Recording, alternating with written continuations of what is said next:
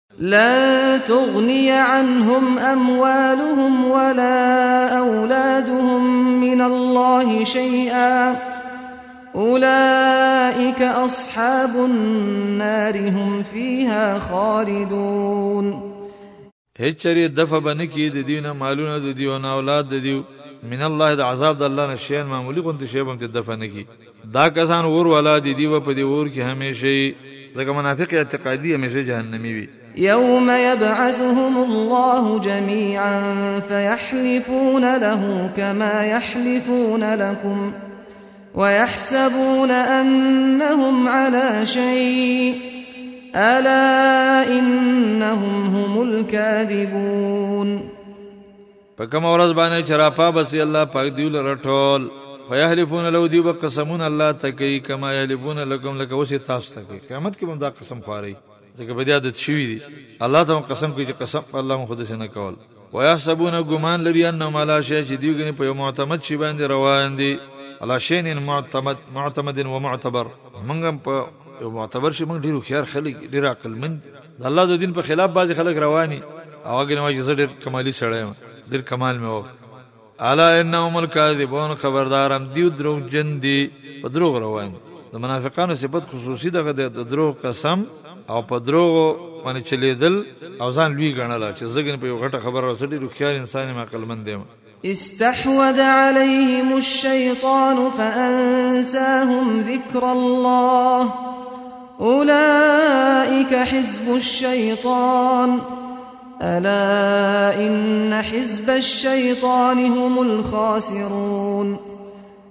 غلبه کړی دا په دیو باندې شیطان راګیر کړی دی په خپل لپیټ کې فانساهم ذکر الله نو یری کده دیو نه یادول د الله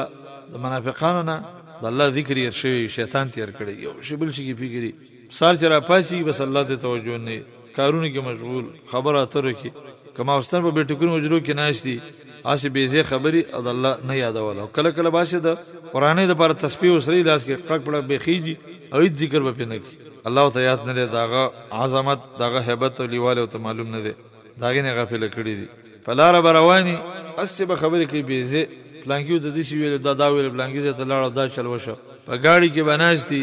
لس ګنټې مزل به وي او یو سبحان الله به هم د ده د خولې نه چېرته ته وانه اورې استغفر الله به تې وانه اورې لا حول ولا قوت الا بالله د قران تلاوت به تیوانه اوري اولایک حزب الشیطان دا کسان د شیطان ډله ده سوچ د الله نه غافل کې دا د شیطان مرګري او الا خبردار شي ان حزب الشیطان هم الخاسرون د شیطان ډله هم دیو تاوانیان دي الله ذکر پر خدل دونه تاوان لري ته وګوره انسان د شیطان په ډله کې داخلي اوس الله وي داخله ځان عزتمن غني کنه اوس ما اوس ما د رسول سو خلاف کې د ذلیل کوم اے يهود اے مشرکان اے کافر اے منافقانو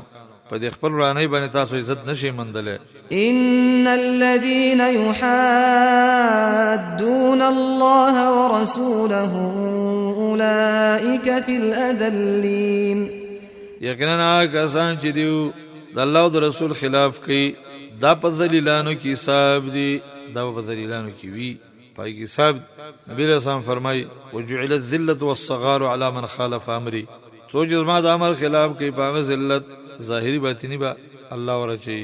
د نبی له سلام په مخالفت کې ذلت دې کستا خوخه او خوخه دي نه یسړي ګیره وخره لسان په دې عزت من کوي والله چې دا بي عزت شي یسړي پنسي بزما کرا کاږي په دې ځان عزت من کوي والله چې دا بي عزت شي خدا بزان پويږي نه یو سړی دی چې د سنت طریقو مقابله کوي چې لکه دا تاسو زموږ په جماعت کې په زور باندې امین ویو او زموږ په جماعت کې د فلدیان وکړو زبر د دې مقابله کوم رانه نشي کوله دا به دې ځانې عزتمن غني خو الله چې دا ذلیل شي او سپک شي په دې باندې څومره چې دا سختي کې دمره د ذلت سره مخامخ کی اولایک فی الذلین ځکه دا د الله قانون چې چا د نبی رسول الله د سنت طریقو خلاف کړي دا به ذلیل کی هغه زنانه چې پرده گزاره کی سر سر تور کی